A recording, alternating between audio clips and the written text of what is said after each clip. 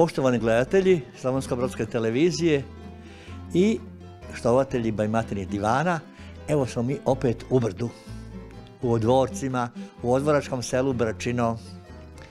I tu smo kod obitelji Križanović, točno u jednoj etno sobi i kraj kreveta, a krevet je uvijek bio za jednu sobu ono što svaka soba treba imati. A ova soba je komplet u etno stilu, a nju je namjestio jedan dečko mladi koji je u stvari bogoslov i on volji tu našu tradicijsku kulturu, Fabijan Križanović, pa će malo vidjeti kako je on tu sobu uredio i malo okolo dvorišta. Čovjek jednostavno volji to svoje.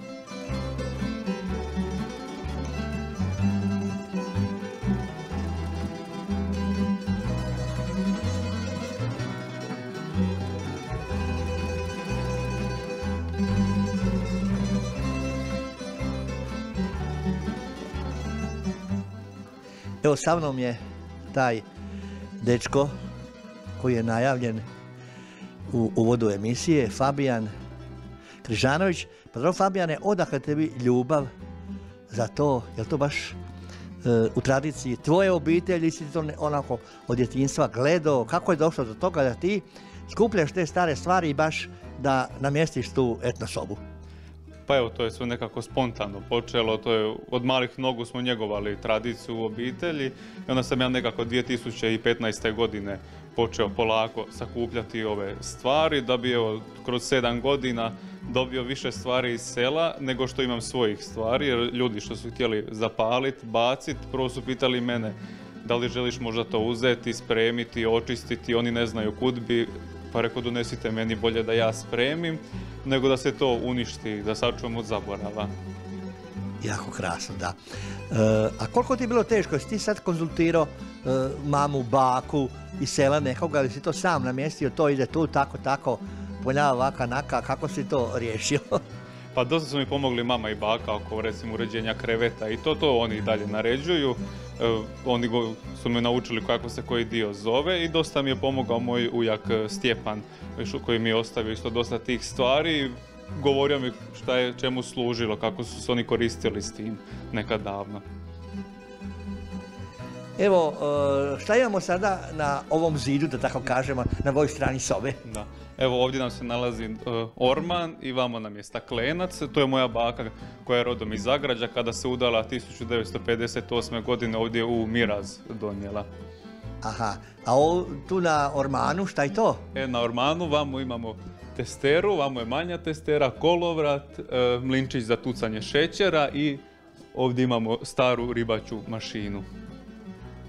Onaj drveni dio tamo, onu posudu, kako to A, to nam je uh, uburak. Evo da ga možda izvodim. Znači oborak ili uburak? Evo ovako da se možda Kod nas je u Bebeni krinja. Krinja, a kod nas je oborak.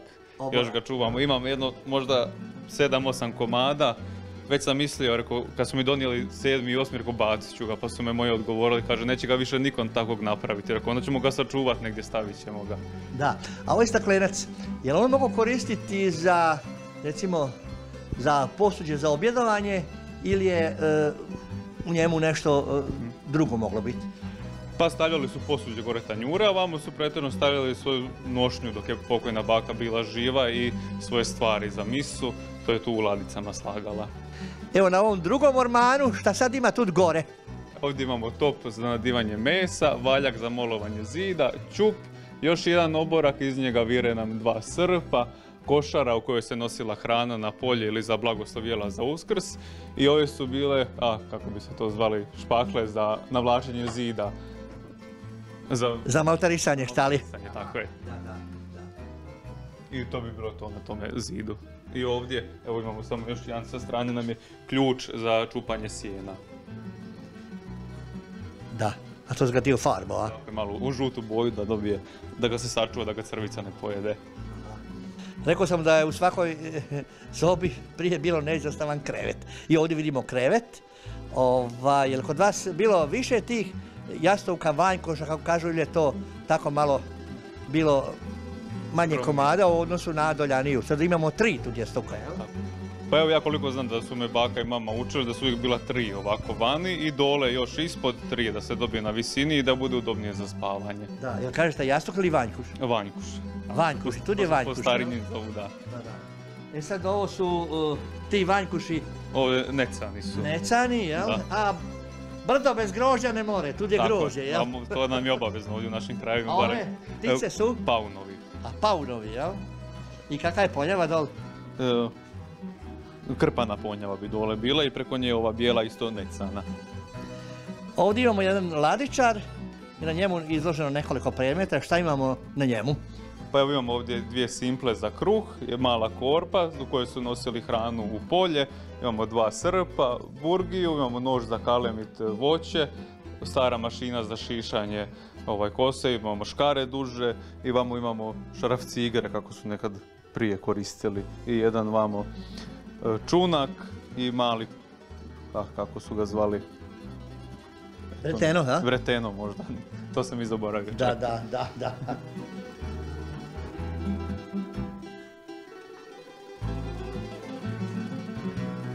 Ovdje vidim jedno ogledalo, ovaj, to je malo nedostaje nešto, vjerojatno je to ovaj psiha ali neko kaže psiha, pa si ti stavio, pretpostavljam, sa zida ogledalo da služi svojoj funkciji, e, a imamo nešto zanimljivo i ispod tog ogledala.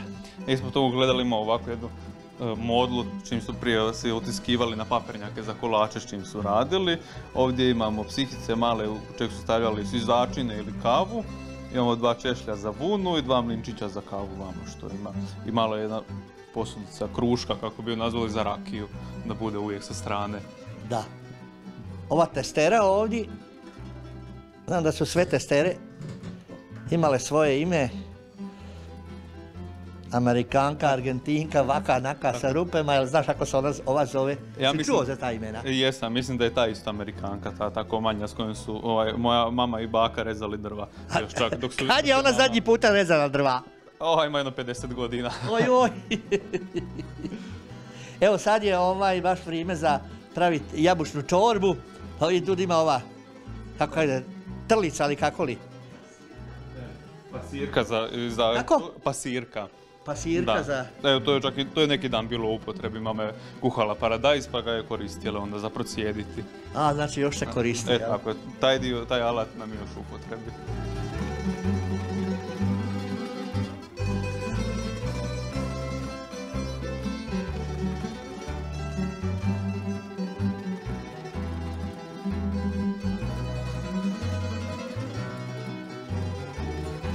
Dobar dan, e, dragi gledatelji Slavonsko-Brodske televizije. Evo, Mata je mene poveo u moj zavičaj u svoje divane. I izuzetna mi je čast, tu pokraj mene je Fabijan koji predstavlja svoju sobu i njegova soba i njegove stvari koje je on sve sakupio. Pa nam reci Fabijane, e, evo krenit ćemo od ovoga kraja, pa reci šta se to nalazi? Evo tu imamo na zidu nam je stalak, zvan tako dobro jutro za peškir koji je uvijek krasio zid. Vamo dole na, ovo je bešika za djecu u kojoj je moj tata bio, možda čak i dida stari. Kožušak od moje e, pokojne bake koja još kao dijete ga je nosila. Znači imamo staru peć, pegla koja je gore, nam je- imamo jednu staru torbu i ovdje nam je ožeg za kolače, kako su prije naši stari. Danas imamo električni, a prije su oni njega zagrijavali na šporetu i onda su pekli. Pa ja mislim da je maksimalno dva kolača moglo sad, pa na, na cijeli dan dok ispeku za cijelu obitelj. Pa dobro, imalo se vremena, znaš, e, to, to ti je bio oni kolači koji mogu dugo stajati, mogu se uvijek praviti, dokle god vatra gori. Pa tako je, onda su oni mogli to lijepo od jutra do večeri. Da, da, da, baš lijepo što si to sačuvao. Dalje, šta imamo? Dalje imamo u ćošku, imamo korito za e, kruh mjesit, imamo lopatu za stavljanje kruha u peć, dvije simple, imamo još jedan oborak, karlicu i jednu lopatu za brašno. Evo ovako, e, sad mi, Fabijane, objasni, molim te, šta je ovo? Da li ti znaš, da li si ti nekad kao beba stajao u tome? E, to nam je stalak za djecu malu, pa koliko je, se ja barem sjećam nisam bio još u tome, da sam već prerastao, to je izašlo iz mode. U tome su eto prije bake dok su bile zaposlene svoju djecu malu stavljale da mogu držati ravnotežu u tome. Dok su ne, ako su Dok- kuhale u polje Dok prohodaju, jel tako? Tako je. Da mogu trčati. Tako je. Da, da ne padne dijete, stoji ravno. Tako. Bravo. Dalje šta imamo? E, Dalje vamo imamo tri šablona za izradu drikova na kolima. Imamo jedan e, fenjer stari i kolovrat. E, Fabijane, a šta je sad ovo? Ajde ti meni reci, šta je ovo? Glavno mjesto u kući, znači gdje su ljudi objedovali naš stol, neki zovu ga astal i borani stoljak na njemu. To je od moje pokojne bake isto.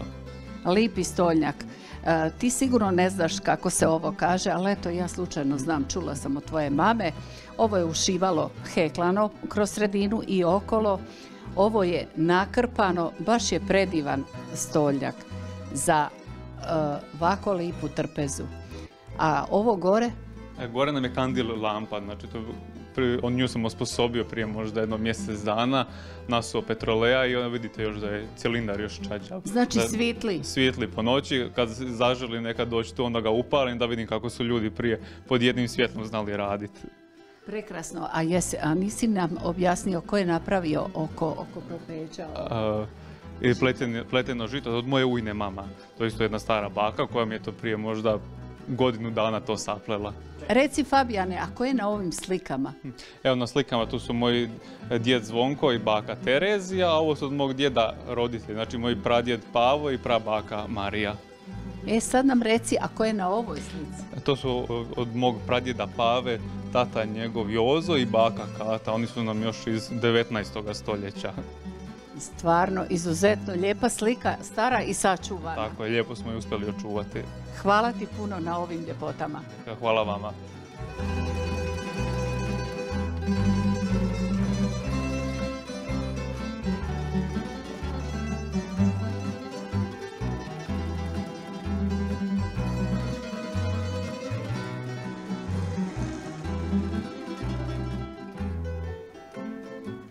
Na ovom ladičaru vidimo nekakvu teku koja je pisana krasopisom.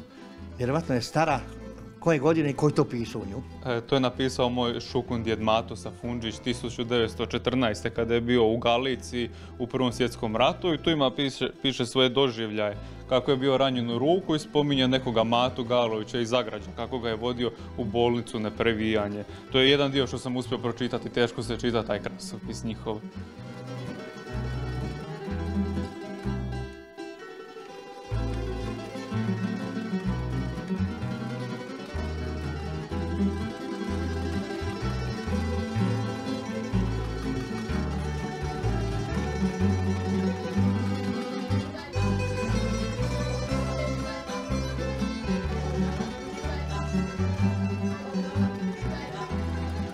Dragi gledatelji, sa mnom je ovdje Marta od Fabijana Nečakinja.